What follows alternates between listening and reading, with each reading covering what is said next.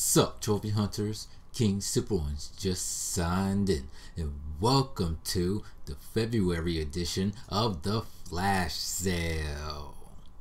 So, let's get this started. Wait just a minute. Slime Rancher was just $9.99 last month. Now this month is $11.99? Are you fucking serious? I would get this, but uh come on. Please make it cheaper for me. If Monster Hunter World was ever $17, I would get it. But right now, no. So the Swords of Ditto seems like a 3 out of 10, maybe 35 hours. For $10, possibly. I'll think about that.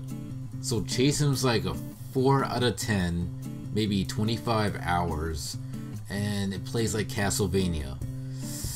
Oh man, it's been a while since I played Castlevania. Maybe I should get this. I'll have to think about that too. I don't know what the fuck this is, but fuck that shit. Sooner or later, I'm gonna have to play Darksiders 2. With Darksiders 3, you're too expensive. Same with you, Earth Defense Force. I gotta play all your other games, time consume all that bullshit, and then sooner or later, I gotta have to fucking play this bullshit game too. Oh my god. I really don't know if the first tree is even worth it. DLC motherfucking trap!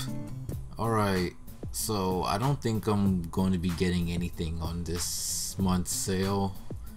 Probably just going to be save my money and just continue to try to finish Twisted Metal, which videos will be out for that soon and sooner or later I'm going to get that platinum. So uh yeah, so stay tuned for the next flash sale as you're listening to best trophy hunter